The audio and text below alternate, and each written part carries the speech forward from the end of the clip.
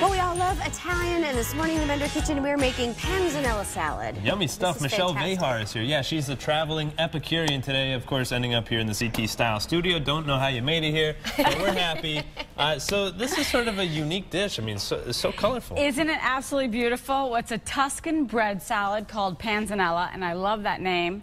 It almost sounds like a dance or something. I know. I, I was just going to say, you're You did a dancing while you're doing it. You're moving. You're grooving. That's great, but a lot of people have an abundance of tomatoes this time They of year, do. too. And then um, the Tuscans created this to use their last night dinner bread that is a little bit Ah. stale and the moisture ev- has evaporated with their tomatoes from their garden because you have so many in the summer. So it's kind of like a crouton, but you have croutons here and then the bread here. So Well, we have the bread and we start with making croutons and you drizzle Homemade. over, homemade, Oh, absolutely. come on. You pop these into the oven Look at and you. then you have this Your beautiful croutons. ball of croutons. I thought you bought, the, brought those from the store. I didn't realize No, you brought I homemade made- croutons. Perfectly browned, right? Oh, Perfectly wow. golden, absolutely gorgeous. Good for you. And then we have our cut up tomatoes. You add a little bit of salt.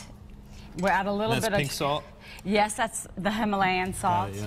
A little bit of garlic. And then we have a special dressing that goes over all of the croutons and the mozzarella when we start to add in all the goodies.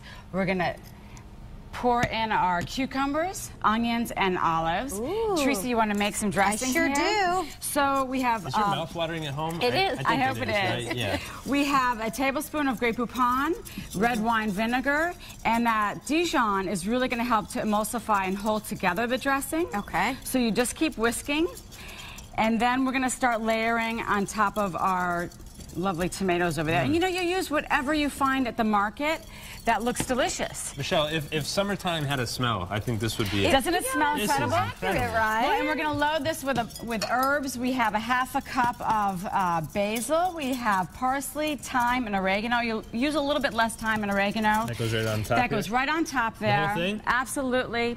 Put it right on top Look at there. that, wow. And then A lot of ingredients Ooh, here. there's the fresh Mozzarella. mozzarella. and then the croutons. This is so easy to make too. You don't have to like sit there and put Yeah. little pieces on. T- it's, it's just. well, you do have to cut there. up all your tomatoes, chopping. and Yeah. yeah, There's there's a some little chopping. chopping. A little. If you can get a sous chef, you'd be okay. I think Teresa's ready to hire me. I can help. And then we you just pour on this special dressing. Look at that. Absolutely yummy.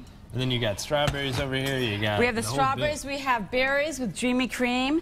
It's a Now, combination cream? of fluff and cream cheese, and nobody could ever figure it out. Wow, what you a can- combo. That I is know, it's terrific. delicious.